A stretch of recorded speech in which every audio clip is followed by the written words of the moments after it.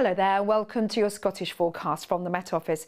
Through the next few days, the chance of some heavy showers, particularly tomorrow, that's Tuesday, with some sunshine. In fact, the Met Office has issued a warning throughout Tuesday for some heavy downpours with the risk of thunder across central and eastern areas of Scotland before a ridge moves in on Wednesday. In fact, through this evening, you may run into a shower before they tend to fade away. Towards the south, always more in the way of cloud and a little showery rain as we enter Tuesday morning. And a few showers just push down across the far north of Scotland, clipping Orkney, clearing Shetland and moving in across Caithness. Temperatures holding up wherever you are. It's a relatively mild start to the day come Tuesday morning and it will be bright for some with some sunshine.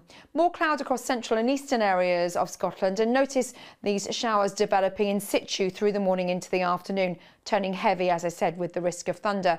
At the same time, some fine weather across central and western areas. That's where you'll see the driest conditions and a few showers just encroaching across the far northwest. Temperatures then in the sunshine, 20 degrees Celsius, feeling warm in any brighter breaks. But these showers will continue through Tuesday evening and overnight before they tend to again ease away.